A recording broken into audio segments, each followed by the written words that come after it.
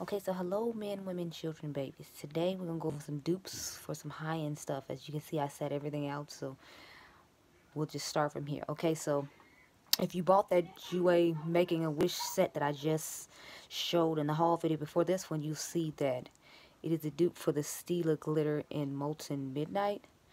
I have it swatched on my hand already, so as you can see, they're like the exact same color. Come on, focus. Anyway, they're the exact same colors, so even with it being blurry, you can see like they're pretty similar. There we go. They're pretty similar. Obviously, the Stila one is a little more opaque, but I mean, like, since it came with the set, and you see the exact dupe for Molten Midnight, then you don't have to buy Molten Midnight. You can say that $24 for something else.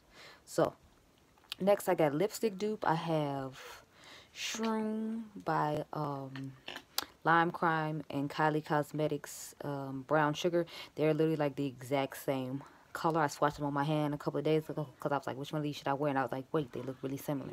Turns out they're exact same color. Now, the Lime Crime one is 18 or 20. And then this one, I think is like 24 or 27 because it has the lip liner.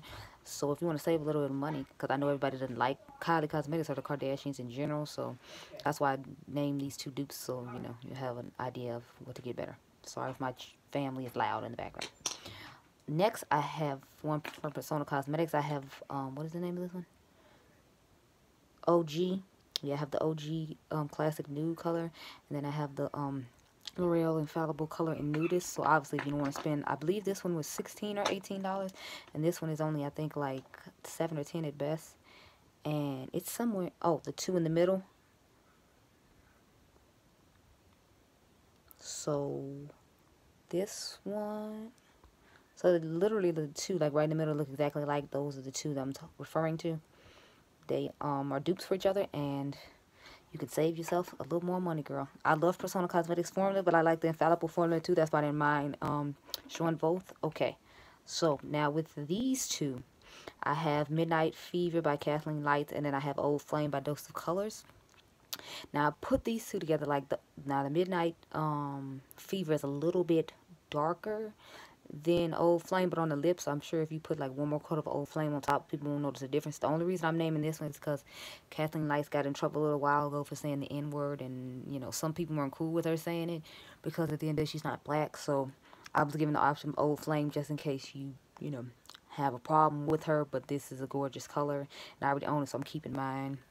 But Old Flame is a good alternative. I got mine during the, um, the Ulta 21 Days of Beauty sale in the fall, wintertime or whatever, but they're two great, pretty colors, and here are them on my hand. So, as you can see, the one in front is Old Flame, and the one in back is Midnight Fever. So, as you can see, it's a little bit darker, but like I said, if you put another coat on, it should be fine. They'll look exactly the same. Now, we're going to go into the last two things I have, which is highlighters. So, I swatched these earlier. This is Bali by Ofra, and this is from Kathleen Lights collection. It's called Fire, the Super sh um, Shock um, Cheek Highlighter. They were the exact same color. I think this one might have been a little bit darker, but on the skin, nobody would be able to tell the difference.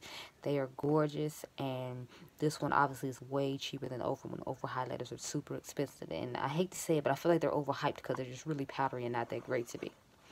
But I have both, and, you know, I like both, so there you go. Uh, the last one I have is this Chocolate Geode by um, Becca. And then I have the Persona Cosmetics and Delmar. They are the exact same color when you swatch them on the skin. So here is Delmar. And let's get... I always open these up from the wrong way. Like I always try to open it from the back. And then I'm like wrong. Then I'm feeling like stupid in my feelings. Because I look dumb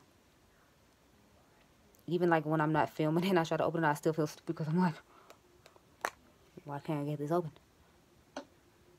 But as you can see, like, they are super similar. They're almost exactly the same color. Matter of fact, I will swatch them. I had them swatch just a few minutes ago, but I had to wipe them off to, like, do all the lip swatches you see on my arm. So that's Chocolate Geode, and this is Delmar. Let me see. Mm, right there.